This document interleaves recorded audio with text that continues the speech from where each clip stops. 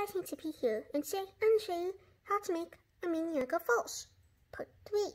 Before showing you how to make it, make sure to like the video, comment down below, and subscribe to the YouTube channel so you don't miss any new videos.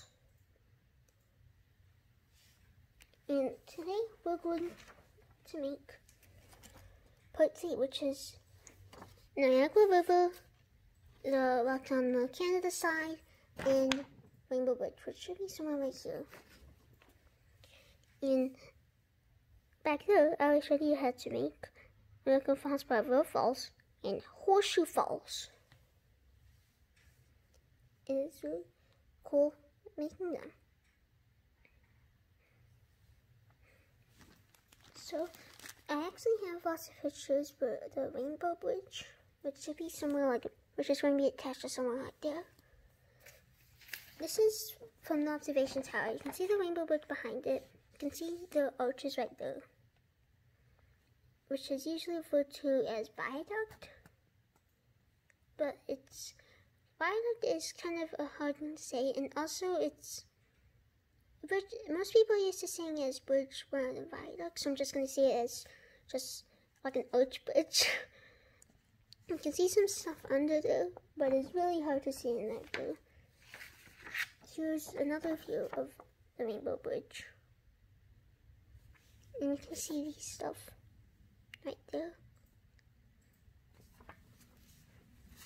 And I marked this as Canada because this is this is the Canada side, this is the American side. American Falls will be somewhere like right there.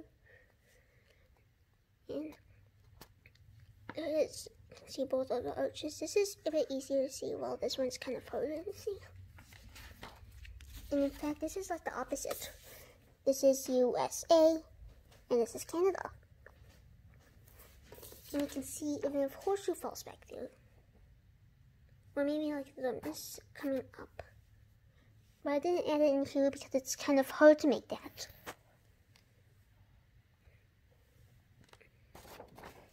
And here is the same view.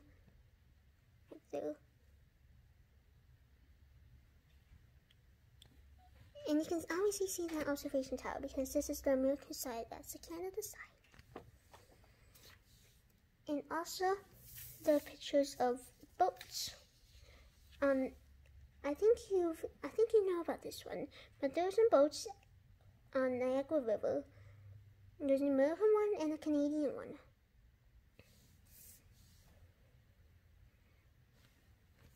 I think you're more used to the Canadian one and it goes under Horseshoe Falls. But um, only a small portion of Horseshoe Falls is a part of the USA. I think I showed you it. I showed you it in the Horseshoe Falls video. You can see that only the stores there, but they can't access it because the little part of Goat Island is Canada. So that's why I didn't go. Instead, they go through Niagara Falls. They go to American Falls and go right next to American Falls and Brownsville Falls, and they just stop there. And this is what the boat looks like. How to know it is that there's an American flag back there. I don't know why it's not an ensign flag. America has a America has a different ensign flag, but I think this is what it looks like. And then this is the Canada one. Now notice that they're Canadian flags.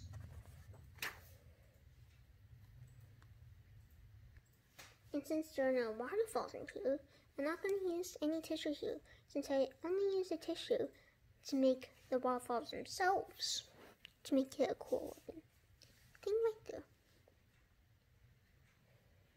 But I'm still going to use blue sharpies with this one because of the Niagara River and other sharpies. And also the green marker to make all the rest stuff on the Canada side. So these are the parts you need. Toothpicks to make the holes in the rainbow bridge. Some reference images which I just showed you. Pencil.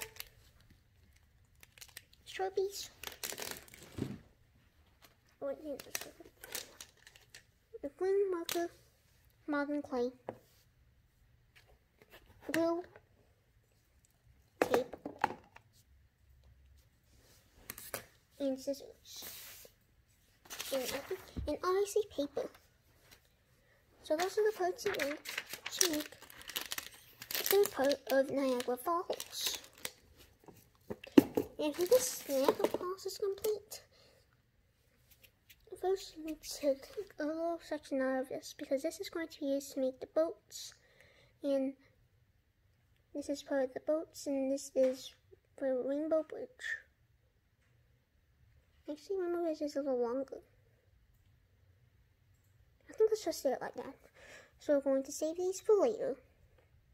And this part is going to be, and then we're going to remove this part because these are like for the detailing because first we're going to roll it like this until it goes past there. And there we go. That's what it looks like. So to know what to know what it looks like, um, I'm going to stay like this for like a few seconds. And then if you want to see what it actually looks like, you can just pause the video and just reference it like that.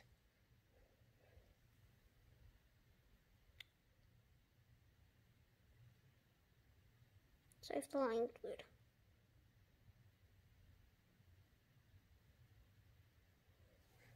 Uh, this, I think this is where the Niagara Falls fireworks. I think this is where the this is like for the boats, like for the Niagara Falls cruises and the Horseshoe Falls. And this is a connection to the Rainbow Bridge. And it goes like that. Next, we're going to color it.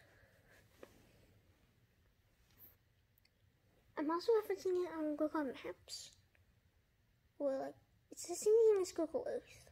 Um, I don't know why Google Maps has a, has like the same kind of like base Earth thing as Google Earth. I'm just using maps right now. Which is basically the same thing as the Google Earth one. So it's, I'm going to color and then I'm going to do that same thing. There we go, that's what it looks like. So if you want to see what it actually looks like, you can pause the video.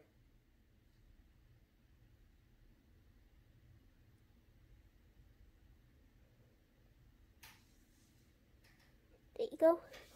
And it attaches right there. We're going to do that same thing with the horseshoe falls.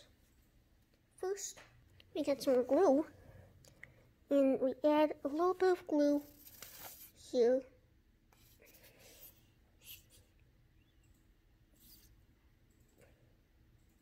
There you go.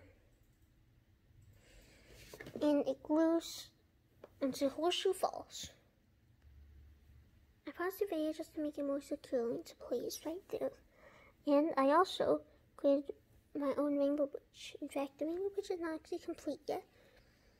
The reason why we need toothpicks is because we're going to make the little, uh, we're going to make these holes right here.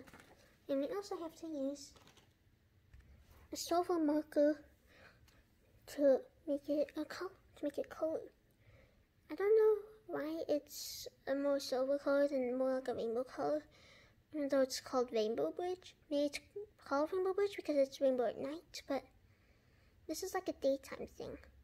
This is like a daytime diamond, so so I'm just going to say this as silver.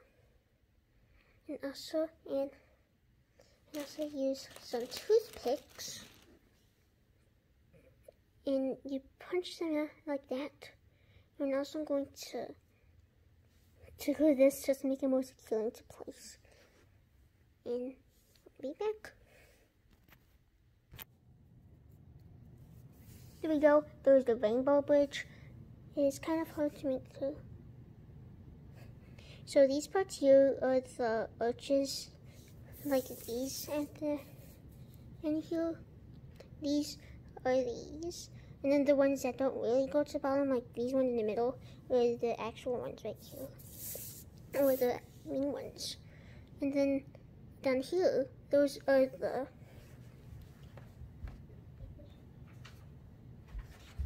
those things at the bottom, those at the bottom are these. It's kind of hard to make it in this scale. I only use the toothpick to make indents in there. Next, we're going to place it there. There you go. And also, the reason why it's in a weird angle like that is because, I don't know why, when I looked on Google Maps, there was like a weird angle like that. So, so I just made it like that.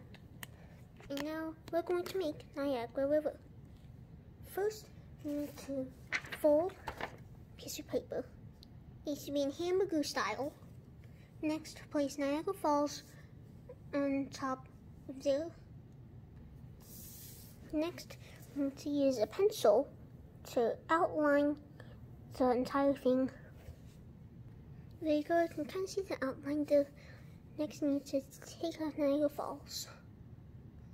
There you go, it kind of looks like a sock. Next, we need to put some tape on here so when we're cutting it, it won't make a different shape at the bottom here. Because when you kind of cut it, it kind of moves like this and this, and we don't want that, so we need to use tape and place it there. The guy should only leave paper on these three sides, because on the fourth one it's still locked because it's folded. And next, we're going to cut it out. There you go. And it should leave with the same picture. First, we're going to color Niagara River with Sharpies. You know, we're not going to throw this in the garbage. We're actually going to use it as a coloring for Niagara River. There we go. So there's a Niagara River complete. Now going to do this. We're going to place it upside down. And then we can use a pencil and we can spell Niagara Falls. Here we go. It's a really cool thing. I actually use a light, lighter blue and darker blue. You can kind of see it there. You can write like um, my Niagara Falls, or in this case, Titanic Chickpeas Niagara Falls. But I just want to stay with Niagara Falls. Next, we're going to glue this Niagara River on top of the Niagara Falls thing. There we go and you see this Niagara Falls, Niagara River. And last but not least, we're going to glue Niagara Falls on top of the Niagara River. There you go. Look, there's Niagara Falls and Niagara River. And off camera, I also made some same made the boats. This is the American boat. This is the Canadian boat. And then you glue them onto Niagara River. There we go. So there is the American boat, and this is the Canadian boat. And there you go. There's the completed Niagara Falls. Pretty soon I'm going to make a video of showing it on in all angles and cool stuff about Niagara Falls and stuff like that. Thanks for watching, and so bye.